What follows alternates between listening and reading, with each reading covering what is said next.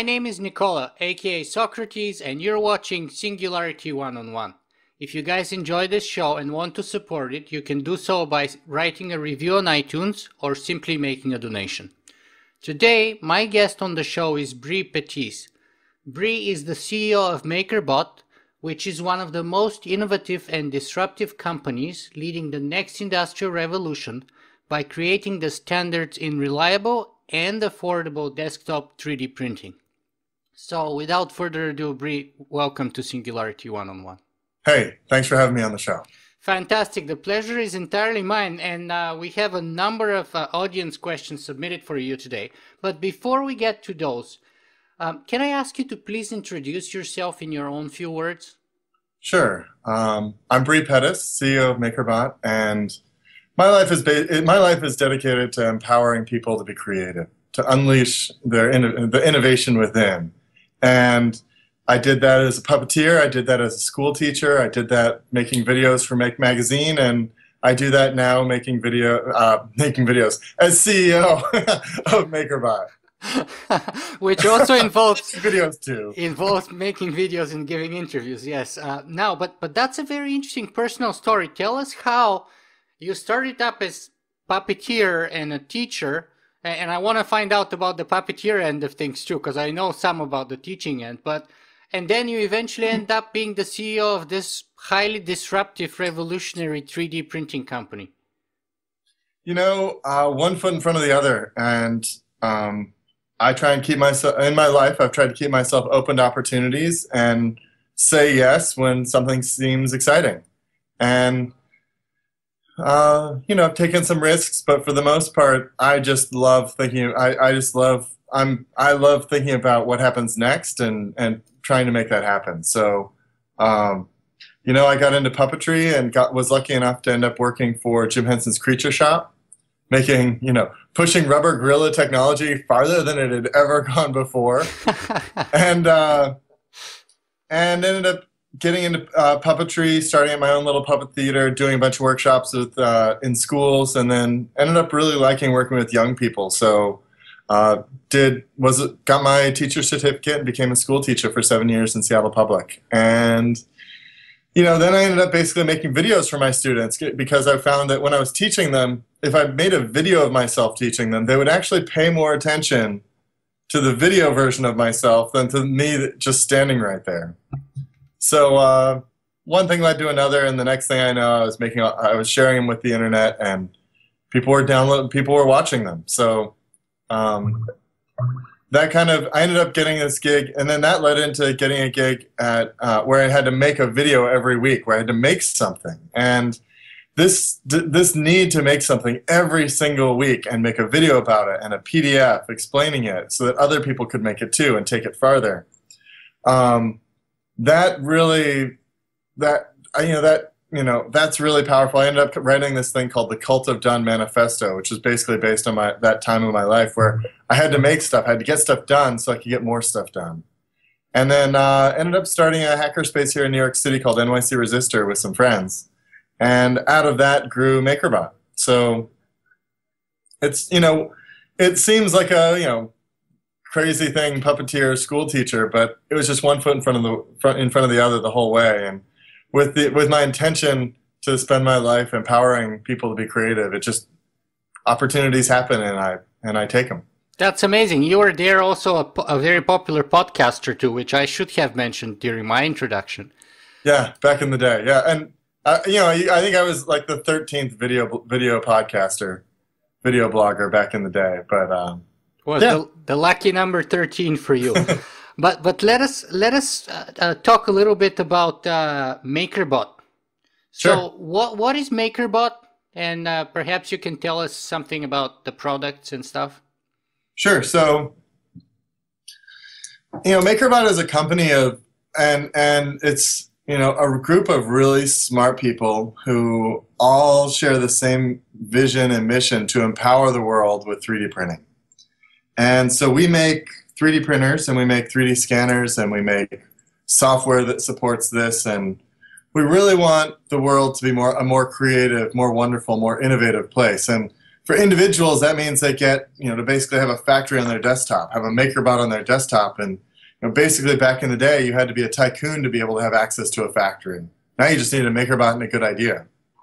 Um, and then, know, we just kind of pretty exciting stuff just happened. We just launched three new 3D printers. The uh, MakerBot Replicator Mini, a small MakerBot, the MakerBot Replicator Desktop, which is really the medium-sized MakerBot, and the MakerBot Replicator Z18, which may, allows you to make things that are 12 by 12 by 18 inches tall, wow. which means you can make full-size human busts. You can do all sorts of crazy. It, it's going to just, I cannot wait to see what people do with this. And so uh, behind that, we also have the software, which is just important. We actually, we spend a lot of time, energy, and money developing software that if we do our job right, it's easy and you don't even think about it. So um, the software behind it, we've got a desktop application, a mobile application, and a, a creative tool, MakerBot Print Shop, that lets people create things easily. Um, the whole idea is to just unlock people's creativity and let the innovation flow. Yeah, the, the apps are usually as important as the, the actual hardware. And you guys have a very good reputation about sort of updating and upgrading the firmware of previously previous generations of your hardware so that it actually improves its its capabilities in the end, right? Yeah, and I mean it's actually we we take a lot of pride and we take a lot of feedback from the community. Um, basically, when we launch something, we we make the hardware uh, you know we make the hardware rock solid, and then the software we make a we do a, give it a best first shot and we make it really nice software. And then we take people's feedback and we we use it. So when we launched the makerbot digitizer desktop 3d scanner at first you put something on it and it just made one pass and it made one scan. Mm. but that meant that you didn't see the stuff on the bottom. So we changed the software we actually spent a lot of time and energy making it so that you could do one scan and then you could turn it on its your object on its side and scan it again and merge those scans to make a better 3D model. Mm-hmm. And our commitment to improving the software just means that you know when what it, when you buy a MakerBot now, it's it's literally just going to get better with age. Let me ask you about the printing resolution. How is sure. that developing, and what what level are we at right now? You know, we've gotten to the, the the the place where printing resolution doesn't really matter. It's interesting. We used to you know, when we launched the MakerBot Replicator 2, we talked a lot about how about 100 micron layer resolution, and you know that's about as thin as a piece of paper. So when you make stuff at that resolution, it just it's really really smooth. You pay, it's a trade off with time. The higher the resolution, the, the more time it's going to take. Mm-hmm. The lower the resolution, the faster it's going to make your, what what you want. Mm-hmm. And for most people, the standard resolution of 200 microns is perfectly fine. And that's that's all they need and it makes just beautiful things and it, and it's a good balance between resolution and how much time it's going to take mm-hmm. but i will say we don't really talk i mean even though it's important that people know that they, they get the best when they get a makerbot um, it's becoming less about the uh, like the the statistics the the, the specifications yeah. and more about what you can do with it so mm-hmm. the ease of use turns out to be really important we've got people who have roomfuls of every 3D printer in the world, and they end up using their MakerBot all the time because you can literally like be like I can be in my office here and I can go, oh yeah, I want to make something. I'll go to Thingiverse, I'll download it, I'll open it up in Makerware, I'll slice it, I'll put it on an SD card, and I'll walk over to the MakerBot and start it. And that can take me like a minute, minute and a half. And so I can literally be like, oh, I have to go to the bathroom, but I want to start a print first. Go through the whole process, start the print, and go to the bathroom without stressing out. So wow. that workflow is actually it's probably more important than the actual specifications, even though the specifications are awesome. So we're talking more about like what what you can make with it rather than the machine. And I think this is kind of normal uh, uh evolvement of technology. You know, back in the day, when you bought a 2D printer, you the box had a picture of the 2D printer and a list of all the specifications. Now you just want the thing to be reliable and you want to be happy. Mm-hmm. So you you know you you don't you want to it's a little bit of a different game as as the as the product matures mm-hmm. so so you're, you're saying it's already reached that point of maturity where resolution practically disappears in the background and on the foreground we have ease of use probably uh, price how about the price What, what's the price range of your new products that you mentioned, the, the three new newly launched products? So one of the cool things about the new products is there's no compromises. Each of them has the same extruder, a professional grade extruder. Each of them has the same electronics inside them with the, the same software, this professional grade software. So even though these three printers are all three different sizes, they're all there's no compromises if you get the small one. You're, literally just getting a smaller build volume. And the at the at the the, the, the small end, the consumer end, it's uh, one thousand three hundred and seventy five dollars. And then the medium one, the MakerBot Replicator, is uh, two thousand eight hundred and ninety nine dollars. And then at the high end, you've got the MakerBot Replicator Z18, which is six thousand four hundred and ninety nine dollars. Which, if you go out and look at other three D printers that have that build volume, it can be, you know, it, it's a, a, a, it's just a fraction of the cost of any comparable 3D printer of the build volume. So, mm-hmm. and the cool thing is because they all share the same infrastructure, you're really getting whatever size machine you get, whatever size 3D printer you get, you're getting a professional level machine. Let me ask you this though: Are they already pre-built? Because the original models uh, you had to kind of hack and put together yourself. Are, are, are, those prices that you're quoting for already pre-built machines, or do you Absolutely. have to finish yeah, them? We've built them. We've sent them through a, a regiment of testing before they go in the box, mm-hmm. and you get them ready to rock. Plug and play, one-touch 3D printing on the small one. Fantastic. Um, and you know, when we started, though, I have to give a shout out to our early users because when we started, we shipped kits and you had to really be into it because it, it's a complicated thing. It would take people weeks and months to assemble their MakerBots mm-hmm. from uh, that, that they bought in like 2009. Um, now we we made it in order to kind of go for the the bigger the bigger mission of a MakerBot on every desktop in the world. Uh, we have to make it easy for people. We had to move away from that, and it's interesting. We actually with the MakerBot Replicator 2 and the MakerBot Replicator, when we start when we announced that we were going to make fully assembled 3D printers, a small portion of our community was like, "Ah, oh, I really like making them." and so we said, "I'll tell you what. We'll we'll we'll if you want really like making them, we'll put it together, we'll test it, and then we'll take our lunch hour and we'll take it apart and put it in the box for you so you can put it together and enjoy that." and uh, nobody took us up on that. ah. Yeah, I, I, actually remember interviewing Eric Boyd, who is the president of uh, Hack Lab Toronto. Oh yeah, and a couple of years ago, and they had one of the earlier versions there. Uh, you know, was, a lot of those machines are still in use. So. Yeah. I, I, I am absolutely sure it still is. and we've really focused. One of the things that we focused early on is having things being modular and and um, serviceable. So we don't make it impossible to take this thing apart. We make it so that you know if you want to if you want to change something up or if you you know if you roll it downstairs and you need to buy some parts and assemble and, and fix it up it's really easy to work on these machines. We didn't make it hard for them to we made it so very serviceable. So if you're a tinkerer you can still get into the hood and see how it works.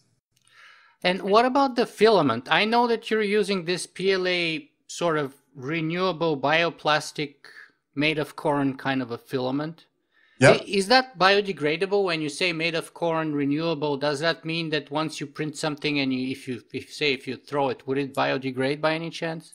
It uh it, it I think the the appropriate phrase is compostable. Biodegradable is actually a technical term that requires that something break down with a certain amount of time. Yeah. So actually like cups, if you were to make a cup out of this out of this material on your MakerBot, and it had a very thin wall. You have a very high surface to volume ratio. Yeah. It would break down very fast. It would biodegrade very fast. But being biodegradable is actually a technical term that if you were to make something that was solid, your surface area to volume ratio changes, and so it would take longer for it to biodegrade.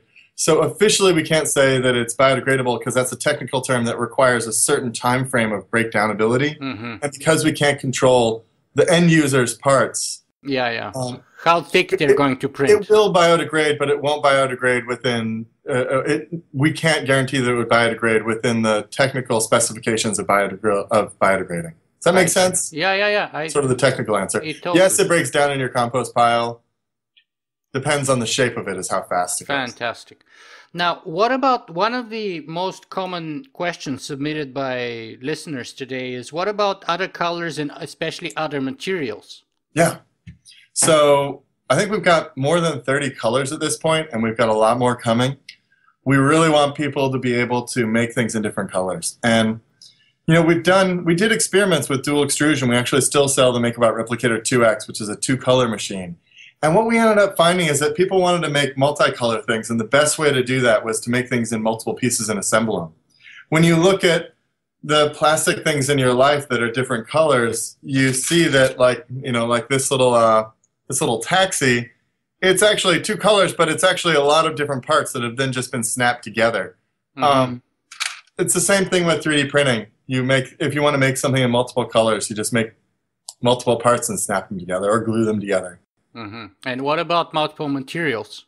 So I have a very large material science team that's working on that, and um, we have a couple materials. We have the MakerBot uh, MakerBot PLA filament, which, as you mentioned, is a renewable bioplastic, and just a ton of colors, including uh, you can have solid colors or translucent colors. We've got some sparkly colors um, with sparkles in them.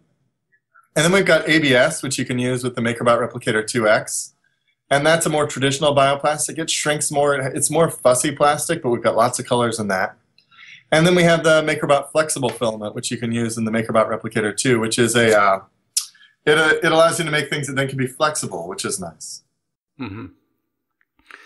Bre, let me ask you, what what is the most exciting upcoming product that you can tell us about? You know, one of the downsides about being a public company is it's actually illegal and I can go to jail for telling you about upcoming products. But what I can tell you is that we're really focused on making this easier, more accessible, more friendly. And we're just going to keep doing that. We've done that from the beginning. We're going to keep doing that. And, you know, my goal is to empower everyone to have access to, to a MakerBot 3D printer. And so we're just going to keep keep pushing and pushing and pushing to make that happen. By the way, uh, speaking of uh, more accessible, I mean, cost is a very huge uh, factor here. So uh, I forgot to ask you, how does the cost of the filament add up? How does it compare? So what we do is, from the beginning, we wanted to have very high quality filament at the lowest price we can justify charging because our goal is we want people to get it and feel like they can just try something. We don't want them to be stressed out about how much it costs. So a roll of MakerBot filament can make almost 400 chess pieces and costs $48. Wow. So you can really think of it like when you when things cost cents instead of dollars to, to, to make, you can you can you don't have to stress out about the cost of the material and you can just be free to let your imagination soar. And you can try things much earlier. You can say, this might be a bad idea, but you know what? I'm going to try it anyway. And that's super powerful because so often the hardest part of any project is just trying, getting that first thing to go. First, yeah. first, first try. Yeah, I think uh, the Chinese have a proverb that says even the longest journey starts with a single step. Yeah. And that single step is usually the toughest for people to make a decision on. Uh, and you said in the beginning, following one step at a time, you know, putting one foot behind the other. But that first step is, is quite yes. often crucial to, to get you going on the journey. And I mean, I can see how your products can totally create incentives for people to just give it a try because they, they've got nothing to lose. But let me move on our discussion here to some more general and, if you will, more philosophical questions. So let me begin by asking you what are your work's motivation and goals? Ultimate motivation and goals. Well, I think um, at, for MakerBot, we're out to empower people. We're happy when our customers, our users, MakerBot operators are being creative and innovative. We want to live in a future where that's better where people have more access, where people have more power. They get, you know, and when you have a MakerBot, you get this superpower. So we're highly motivated by that. And so that also connects to accessibility, getting these out there, doing a lot of education, just showing people what's possible. So much of what, uh, what our challenge is, is telling them they can do it. So many people think, oh, a 3D printer, that's something, you know, for engineers. But it's not anymore. We've made it easy and friendly enough that anybody can use it. So that's one of our challenges. And then I think, you know, we're always just striving to be better. We want to, we want to, we want to be sharper. We want to be, uh, we want to, we, we just always want to be, you know, improvement. I heard you once say that you want to democratize manufacturing. Would you mind elaborating on that? Yeah, I mean, I think I, that's you know, yeah, I and I believe that we are out to make this technology accessible and friendly, and make it so that you know you don't have to be somebody with a factory to be able to come up, have an idea, and get it out there in the world. So, so let me ask you this then: How important is open source for you within that process or that goal to democratize manufacturing? You know, we actually started as a, a, a very hardcore open source company, and, and we made a lot of mistakes. One of our first mistakes was we started to share. We shared our development. We had a we had launched the MakerBot Cupcake, our first machine, and then we uploaded the plans for our next machine just months after launching that machine. And it was just the seed of an idea. There was another like 12 months of work to do to, to really develop it. And our users saw that we were working on a new machine and they stopped buying the current one. And we actually almost lost the company because we just didn't have, luckily, we weren't paying ourselves and there wasn't a lot of cost because mm-hmm. we, by being so open, we ended up shooting ourselves in the foot as a business.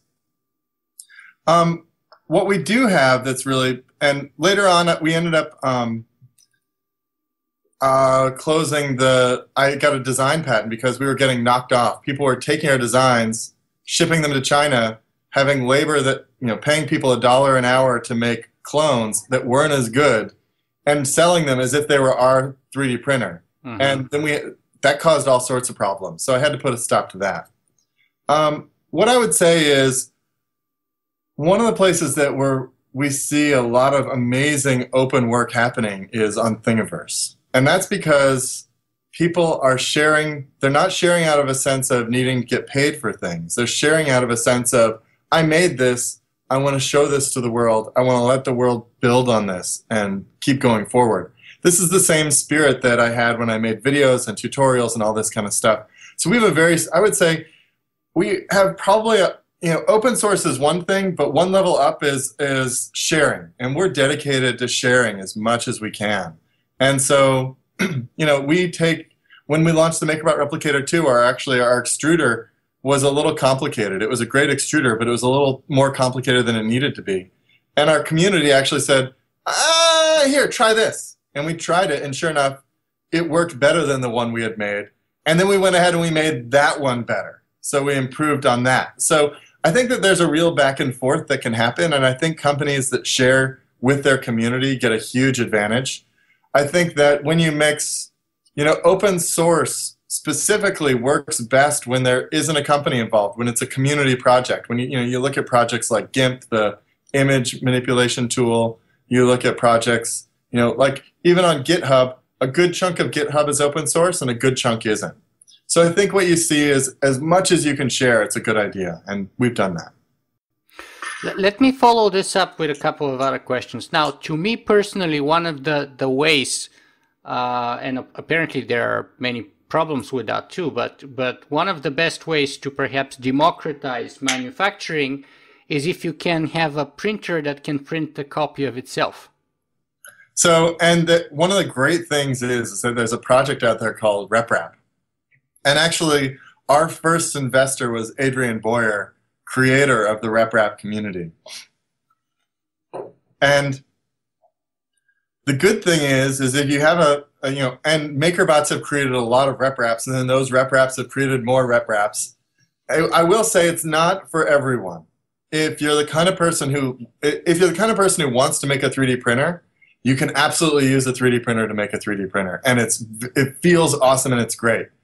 Um, if you're the kind of person who just wants to make stuff with 3D printers, then you get a MakerBot. Um, and it's interesting. A lot of people make 3D printers with MakerBots, and that I, that makes me happy. I like that the RepRap project is supported by MakerBot. And to be fair, we were actually, you know, I got my start contributing to the RepRap project. My first my first 3D printer was a McWireBot, which actually was called a RepStrap uh, 3D printer because it wasn't a, a, 3D printed 3D printer. It was like that we made it out of uh, plumbing, like pipes and stuff like that. So. Um, let, let me give you this yeah. one of the more critical sort of questions that was sure. submitted by a, by a viewer uh, named Karen Chapek-Carr. Uh, and he asks, how does he feel about using RepRap and Arduino technology and efforts and giving nothing back, not even a credit? Uh, we give credit, we give a lot back. We give a lot of credit. You know, there's some people who are grumpy about that, and I can't stop that. But, and I've got some significant trolls in the RepRap world. And what people have to understand is that RepRap is very powerful and it's a great force in the world for people to create 3D printers from scratch at home. It's not for everyone because it takes a long time. Having built a lot of 3D printers, it can be very fussy and it takes a lot of work.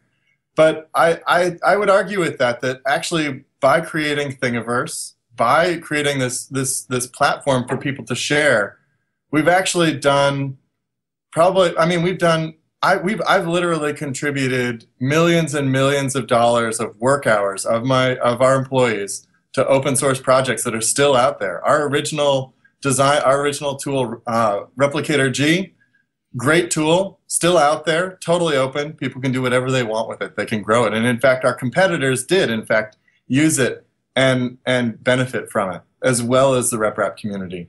So I would kind of put that back and say, you know, we do give credit to, to RepRap. I just gave credit before you asked me the question saying, hey, we, we were really, you know, that's where we got our start and then we took it in a different direction. I think what people have to understand is that a project is different than a product. When you work on a community project, it's very powerful to share everything because there's no money involved. And if you benefit, you get, you, everybody pays it forward. Um, as a product, we had to make something that just works. And that required a lot of, and, and we invited the community to participate with us. At some point, the project became difficult enough that we weren't getting contributions from the community. There were like four people who were contributing. And it didn't make sense to keep going in that direction. Do I encourage, do I support it happening? Yes. I mean, I buy, I buy 3D printers at, on uh, Kickstarter, and I love it when they're open. Um, I I talk about the RepRap project. And, you know, uh, Adrian, as an investor in MakerBot, benefited significantly from his investment in MakerBot. So, in many ways, we've given just frankly him a lot back. Mm-hmm. Uh, I think I think it's uh, I think that if if I were running RepRap, I would probably wish that it got more attention as well because it's a really cool project. I'm not the person to do that because I have a 3D printing company, mm-hmm. but I think that it, it really deserves attention. My last question within this realm would be kind of this sort of very tough question, uh, very complicated too, but let's see what we make out of it within the limited time we've got.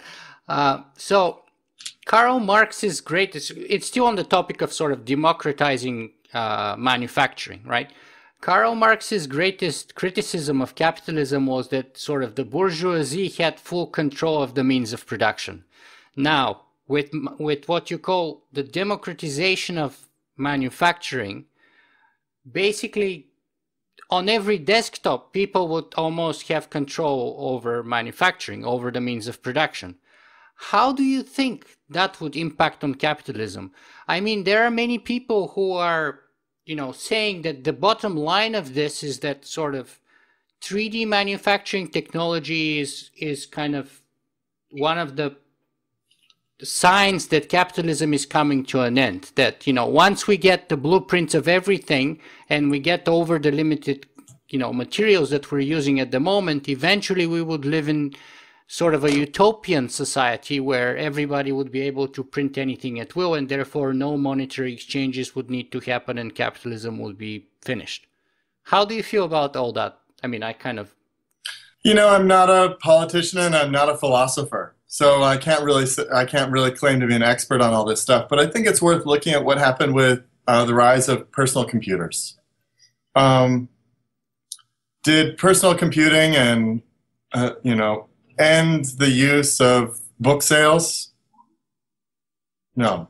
People still write books. Um, did personal computing and um, you know news? It might, but it still hasn't. It's been a long time and it still hasn't. So I think that um, while there are people who lo- who love to explore the possibility of okay, I can make everything now. I absolutely don't need any infrastructure. I don't need government. I don't need all that kind of stuff. I don't think that that's a very short-term, realistic kind of way of thinking. What I see is that individuals can get a lot of leverage by having these. You know, if you're the person at your job with a MakerBot, you're going to be able to make things faster. You're going to be able to keep your job. More, you're more likely to keep your job than other people because you're going to have that superpower. When I uh, when I think about um, how people use this in business, actually businesses use MakerBots to accelerate the manufacturing process. So it's not just individuals who are using them. We sell them to businesses that use these to accelerate the, the, the process.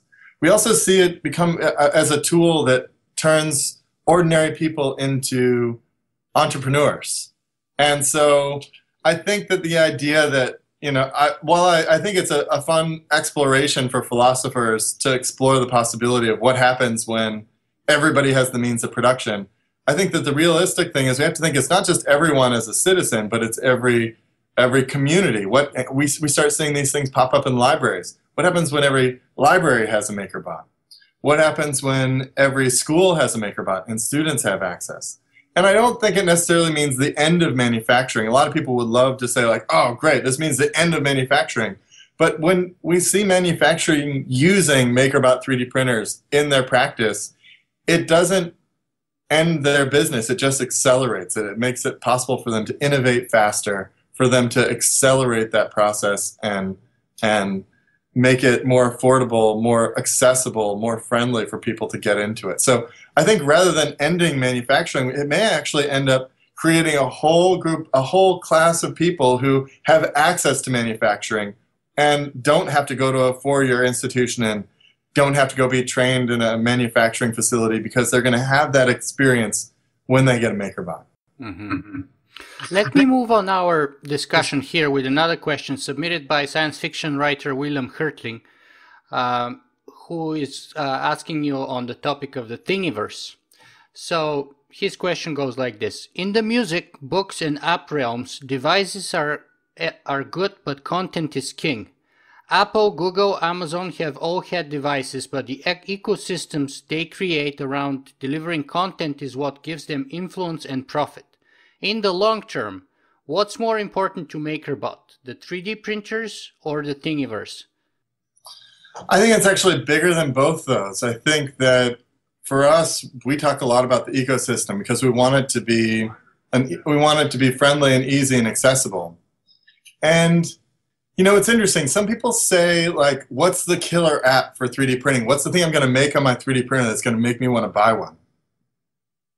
And I don't think that's really the right way to approach it. I think it is actually, now that we've developed an ecosystem, you can actually enter it, and the killer app may be that you can make anything. I mean, it's kind of like asking, like, which song is responsible for music being popular? right?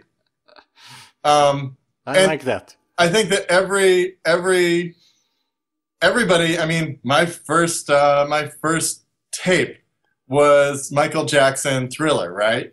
That's what did it for me. But I'm sure your what was your first music? What did you Beatles. first get?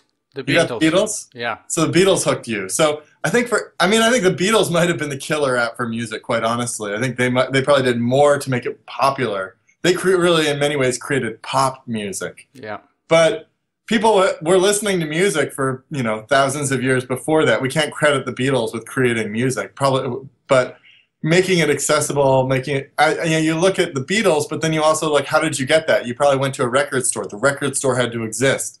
The labels had to exist. The infrastructure for making records or whatever. Well, I grew up in communist Bulgaria, so there were no record stores and stuff like that. I, I we had like one of those uh, tape things I don't even know how you cassette tape deck or eight tracks. No, yeah, eight tracks, not cassette tapes. Those were very rare, so you had to actually take the tape and run it through the thing and sort of twist oh, it yeah, around yeah. and and tape play it.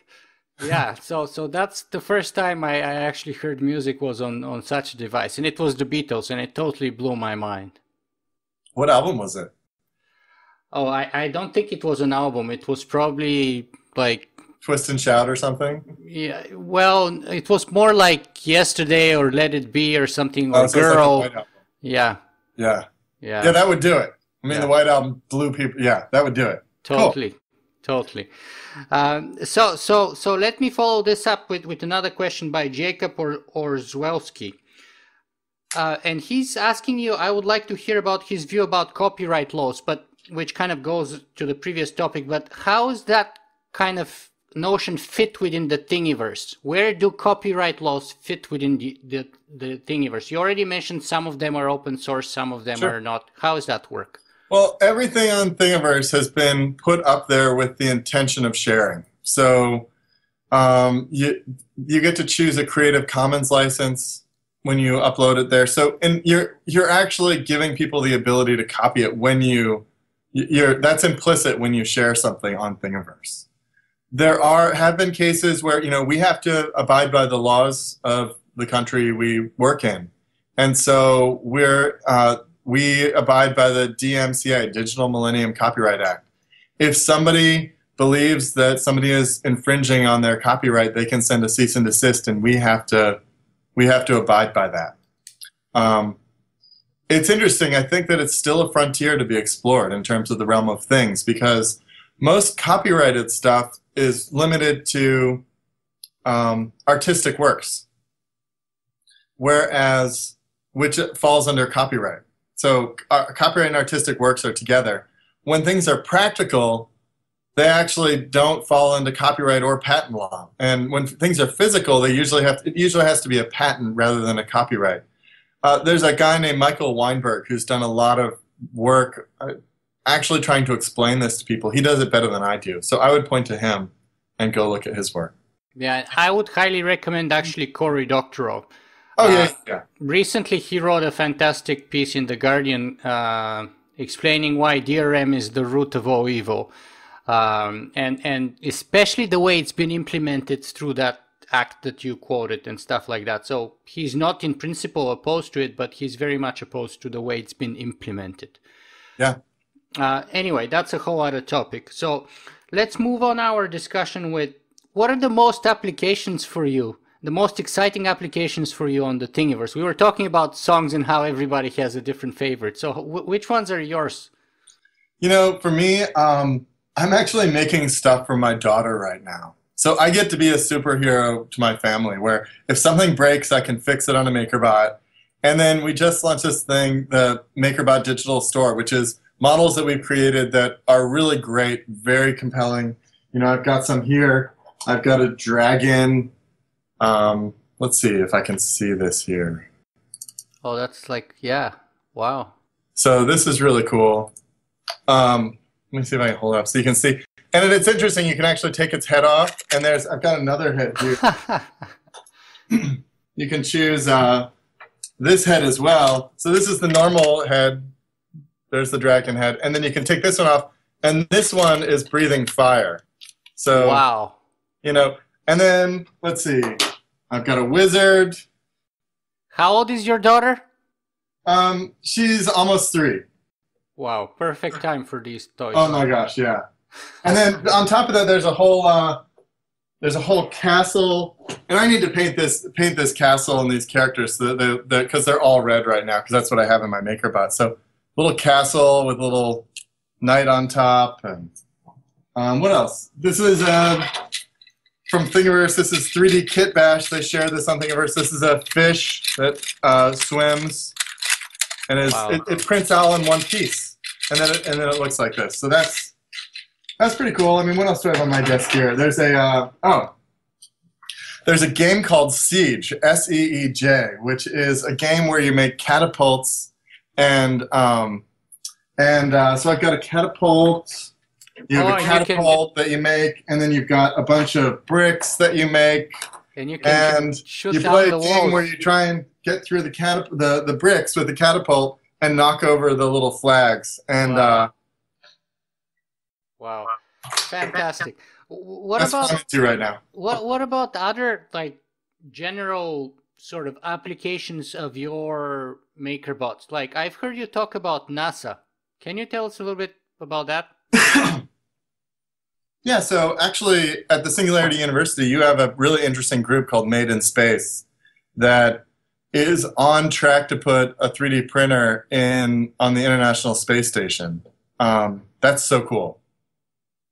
Uh, uh, the other, when you know we some of our biggest competitors are not competitors, some of our biggest customers, excuse me, use MakerBots to explore space. So uh, NASA, JPL, when a engineer needs to prototype something that's going to be expensive, they just buy the engineer a MakerBot, put it on their desk, and then they just have that rather than having to pay. You know, the first time they bought something, it was like the prototype was five thousand dollars, and the second time they made it, they just bought a MakerBot. Um, we just did a great video piece on Lockheed Martin, which had to do a uh, they had to do a fix on the James Webb Space Telescope, which is the next generation space telescope. And the telescope was in the cryo chamber, which is where they freeze it as close to Kelvin as possible, and they suck out all the air to like give it the same experience as if it was in space. And they, they let it sit in there for a while to see if anything breaks. And while it was in there, they realized that they, they were going to have to fix something. So they maker-botted a replica of the part of the telescope they were going to fix. And they then they maker-botted used their MakerBot to make the parts that they were going to need to fix it, baffles to keep cosmic rays from hitting a certain sensor. And then they even MakerBotted the tools that they were going to have to use, and they practiced for like a month. And then when it came out of the cryo chamber, they were they had all they were all ready to go. They had all the pieces. They put it in there and they just fixed it right away. So Wow. they figure it saved them months and months of time. Yeah, that that that's amazing. So so let me ask you this. Uh, it's another audience question by Mike Cassidy. What will be a couple of the biggest leaps in the design of 3D makers that you hope to accomplish in the next few years? You know, I'm really excited to see what students do. I think that we're going to be really surprised by what young people do with this technology. I think that if we can just let them at it, they're going to do more than we can ever imagine. Hmm And and that connects with the next question by Cynthia Stewart, who is curious as to the perceived limits of 3D printing. Are there any well-defined parameters? Well, there's material science. I mean, we're bound by what you can, you know, by the uh, periodic table for now. Um, and uh, so there's material science. There's the build volume of the 3D printer. I mean, at this point, the biggest MakerBot you can get makes things that are 12 by 12 by 18 inches. If you want to make things that are, but you know, the true MakerBot operator doesn't see that as an obstacle. I mean, we've got folks like, uh, like this is a model by Cosmo Wenman, and this is he makes this on on uh, on a on the on the on a MakerBot, and this is much bigger than what you can make. He makes it in multiple parts and then stacks it together, and then glues it. Fantastic. Yeah, it's, this is beautiful. This is a replica of um, of, Vic, of, the, of Victory. yeah. Yeah. Wow, that's that's fantastic. Another audience question. By, You know what though? I would also say this. Here's another Cosmo piece. This is actually a uh, Matisse that he scanned and made a copy of, and it's in it's in bronze. And he actually made it in PLA, and then he went and he cast it. And so this is this is made in metal. So even on the material science side, well, there are limitations for what comes right out of your MakerBot. There's very few limitations for the creative person in the world. And actually, limitations can be really helpful for people to be able to push their creativity and make them think of new things. hmm Yeah, yeah. Jacob Merrill here asks, how can we directly recycle the old broken world around us into printing filament? So, um, one of the challenges is there is, you know, you can go out and get cheaper filament in the world.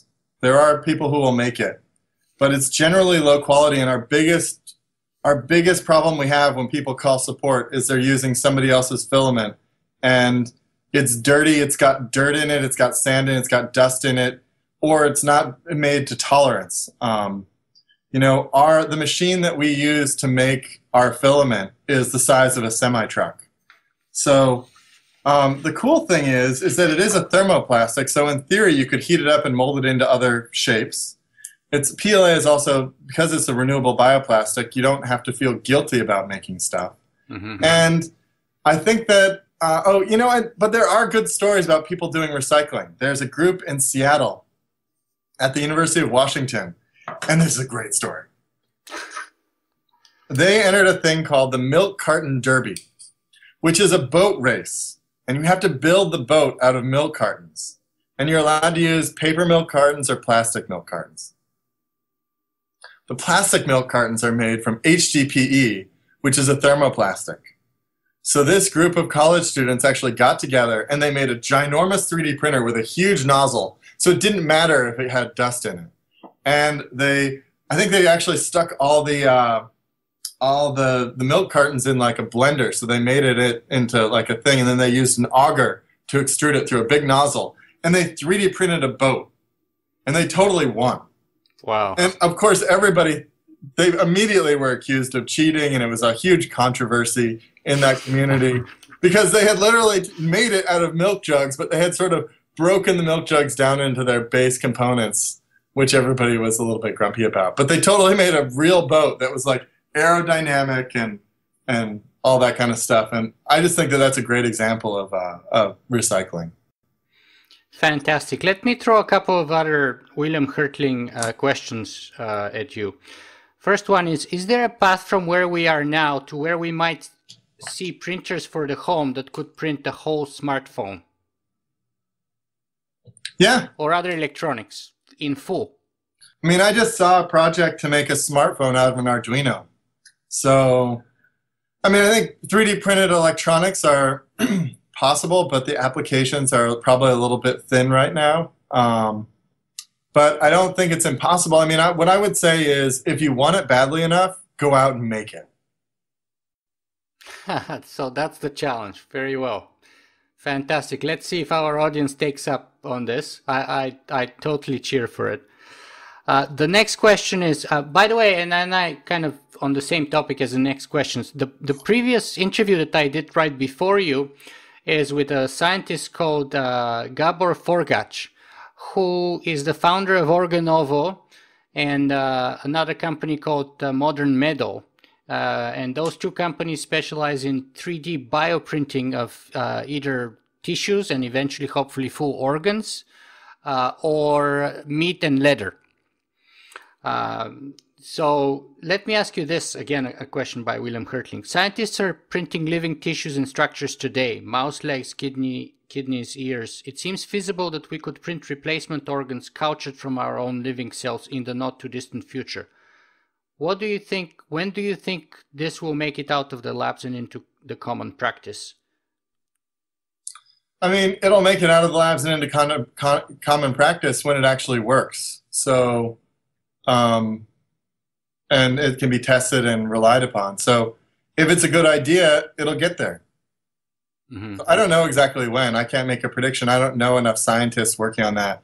I think he would be a better question, person to answer that question since he's working on on it. But but let me ask you this though, because in a way, in a way, I'm what I'm trying to get at here is is this question: How do you see MakerBot in five or ten years? Because, like, I mean, in 3D printing, it seems like anything is possible, at least theoretically.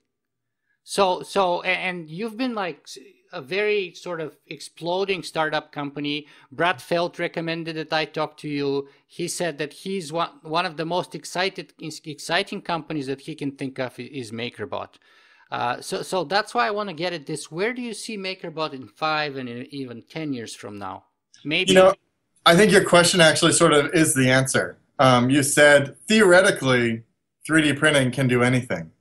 So for us in the next five years, in the next 10 years, in the next 30 years, we have to figure out what go, what, what, what we can take from the theoretical to the that makes sense to bring to people.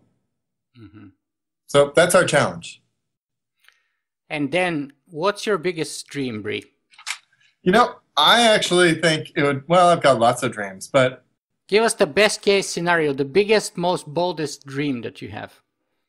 Well, what, what's weird is probably the most, the boldest dream I could possibly have is that 3D printing would be ubiquitous and boring. but that's not very exciting. so I would say I'm looking for to to be more exciting. I would probably say that I'm looking forward to you know I would love to see a solar array solar array on the moon that could focus the the sun's rays to a temperature that it could basically start creating the moon base because I'd like to vacation on the moon. And and hopefully the base would be 3D bio 3D printed by MakerBots. I think that would be great. Fantastic. Yeah, and it could help in the colonization of Mars, etc., right? Yeah, absolutely. Absolutely. I think it will be very interesting to see how it's used in the space station. Bre, the second last question that I always ask of my guests is where can we find more about you and your work? What's the best place for us to sort of follow both you and your company? You know, if you want to follow me, probably the place that I'm most, the place I'm best at sharing is on Twitter, and I'm just twitter.com slash Bre. And for following MakerBot, it's the MakerBot blog, which is makerbot.com slash blog. And that's really where we do, that's where we do our best to share everything we can about MakerBot. So I'm probably easiest to follow on Twitter, and then MakerBot's best to follow. MakerBot actually has a great Twitter too, so you could probably do it, it really depends where you're at. If you're on Twitter, follow us on Twitter. If you read things regularly or subscribe to RSS feeds, you can subscribe to the MakerBot blog. Fantastic. And I follow you everywhere there, so both you and the company. So I, would recommend that. Uh, and the final question, and perhaps the most important one for our interview today, is We've been talking for well over 45 minutes by now, and I want to ask you what's the most important thing that you would like our viewers and listeners to take away from this with you today? you know, I think the most important thing is something that isn't about technology, it's about being able to try and try things and do it. So I would say the thing I'm most I, I'm most hopeful for is when people take their passion and they apply a MakerBot to it. So you know, there's stories of uh, set designer Casey Hallgren. She makes her sets now with a maker with make with a bunch of maker bots, and then on top of that, she's become an entrepreneur selling dollhouse furniture. So the stories like that, and you know, and like the RoboHand project, where two guys decided to make a prosthetic hand for one of the one of them and shared the design, and it's now been downloaded more than seventy thousand times on, on Thingiverse, and that has just empowered people to to make prosthetic hands, robo hands, that would normally cost you know thirty, fifty thousand dollars, cost five dollars when you make it on a MakerBot. So I think I would just, if there's any takeaway, it's I would say dare to dream a little bit and um, take whatever you're passionate about. Take whatever you love, whether it's, uh, you know, I talked to a guy who loves Bricklin cars, and he came up to me and said, What are we going to be able to use these 3D printers for? and I asked him what he was into, and turns out he has a Bricklin car, which is this beautiful gull wing car from back in the day, and they're only made 2,000, and the radio knobs don't exist anymore.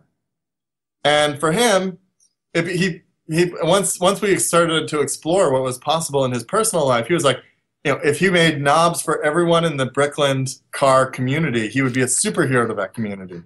And while that might not be something that, you know, replaces a liver, for that community, it changes what's possible. And so uh, I would just encourage people to think about whatever it is they're passionate about, add a MakerBot to it, and sort of like chemistry, when you put two things together, something magical will happen. And that's what I'm excited about. That's what I want people to take away. Bre Pettis, thank you very much for being with us today. Hey, thanks for having me on your show.